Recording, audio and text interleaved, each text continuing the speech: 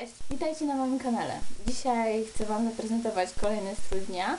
E, Tym razem zainspirowałam się Radką. Ostatnio oglądałam sporo jej starych filmów e, i pomyślałam, że fajnie by było otworzyć e, podobny styl e, z tego, co mam w swojej szafie.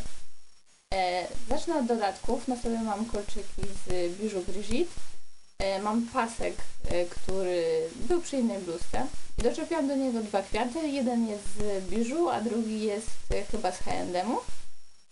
E, Do tego mam sweter z golfem, który jest second handu i jest z firmy TU.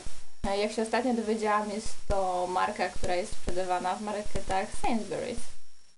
Do tego mam też sukienkę Maxi i na nią właśnie założyłam ten sweter. I sukienka również jest z second handu i jest chyba z BHS-u, jeśli się dobrze orientuję. E, Do tego założę pomarańczowe botki, które już widziałyście.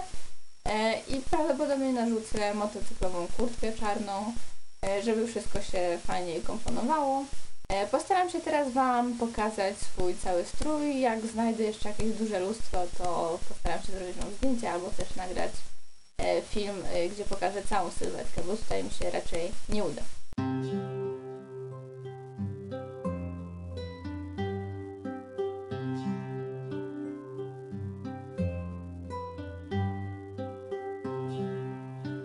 I na dzisiaj to wszystko. Lecę na zajęcia. Do zobaczenia.